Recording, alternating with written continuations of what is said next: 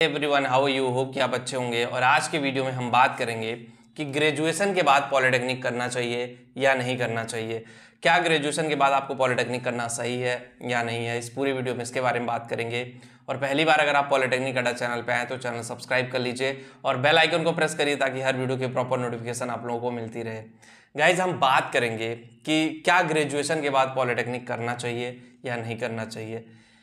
आज का जो दौर है ना काफ़ी ज़्यादा लोग अपने करियर को लेकर सिक्योर हैं। तो आप भी अपने करियर को लेकर सिक्योर रहिए, समझदार रहिए, तभी जा कर के बेटर है। नहीं सिक्योर रहेंगे, नहीं समझदार रहेंगे तो लाइफ में पछताने के अलावा और कुछ नहीं है। अब बहुत सारे लोग मेरे से करियर काउंसलिंग लेते हैं मतलब मेरे से बात करते हैं और डायरेक्टली जिन लोगों को भी बात करनी है मेरे से लिंक डिस्क्रिप्शन में है, उस पर क्लिक करके मेरे से बात कर सकते हैं। तो मैक्सिमम लोगों का क्वेश्चन आता है सर मैंने बीए किया है तो मैं पॉलिटेक्निक करूँ या ना? बीएससी किया है पॉलिटेक्निक करूँ या ना करूँ? बहुत सारे लोगों का ये क्वेरी आया कि बीबीए किया है बीसीए किया है, क्या मैं पॉलिटेक्निक कर लूँ तो बेटर रहेगा? तो गाइज़ मैं आपको बता दूँ कि अगर आप ग्रेजुएशन किए हो तो आप ग्रेजुएशन लेवल की जॉब की तैयारी करो ना। पॉलिटेक्निक में क्यों जाना भाई? कुछ लोगों का कहना ये है कि, सर पॉलिटेक्निक के बाद जॉब लग जाती है। ये बात अगर सात से आठ साल पहले, पाँच से सात साल पहले आप कह लो अगर करते तो मैं मान लेता कि हाँ चलो पॉलिटेक्निक के बाद जॉब लग जाती है।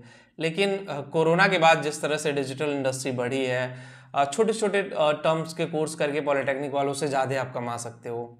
तो आपको ये बात माइंडसेट में पहले तो लाना ही नहीं चाहिए।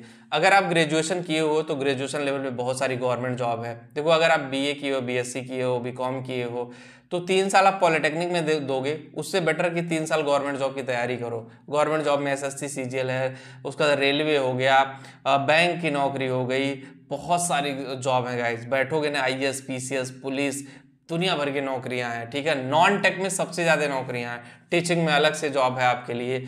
तो अगर आप टेक्निकल फ़ील्ड में जाते हो ना तो वहाँ से एक चैलेंजेस और भी गवर्नमेंट जॉब में जाने के लिए रहेगी कि नंबर ऑफ़ वैकेंसीज कम आती हैं सीटें कम हैं, लोग अब ज़्यादा हैं। तो पाँच सात साल पहले जो सिनेरियो था, वो पूरी तरह से पलट चुका है। तो इस पर आपको सोचने की ज़रूरत है।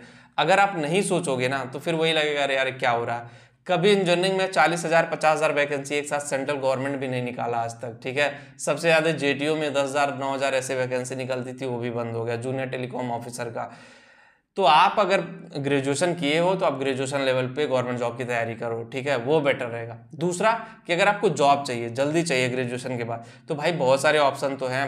आप डिजिटल मार्केटिंग कर लो प्रोग्रामिंग सीख लो app development web development AI technology उसका डेटा एनालिस्ट है बहुत सारे मल्टीपल करियर ऑप्शन जो पॉलिटेक्निक से टेन टाइम बेटर हैं। दस गुना ज़्यादा आपको पैसे कमा करके दे देंगे। तो आप ऐसे फोकस मत करो। पॉलिटेक्निक करो, मैं कह रहा हूँ, ये पॉलिटेक्निक बुरा नहीं है। लेकिन हाँ अगर आप ग्रेजुएशन की बात करना चाहते हो तो मुझे लगता है थोड़ा सा टाइम आपका तीन साल बर्बाद हो जाएगा। और उस टाइम में आप और भी बेहतर कर सकते हो। और भी अच्छे अच्छे करियर अपॉर्चुनिटी है। तो एक्सप्लोर करिए। लेकिन हाँ जिन लोगों का मन है कि नहीं, मैं किसी कारणवश नहीं कर पाया पॉलिटेक्निक, अब करना चाहते हैं, अपनी टेक्निकल डिग्री को एक लेवल पे लेके जाना चाहते हैं तो वो लोग करें, उनके लिए कोई दिक्कत नहीं है, ठीक है? क्योंकि वो टेक्नोलॉजी में इंटरेस्टेड हैं, टेक्निकल डिग्री के साथ ही आगे बढ़ना चाहते हैं तो वो लोग धीरे धीरे आगे बढ़ेंगे, और जो लोग नहीं इंटरेस्टेड हैं, उनका तो कुछ पता ही नहीं, वो तो ऐसे ही हैं। तो मेरा काम था गाइज़ आपको बताना, आपको एक्चुअल चीज़ बताना, और आपका काम है उस पर वर्क करना।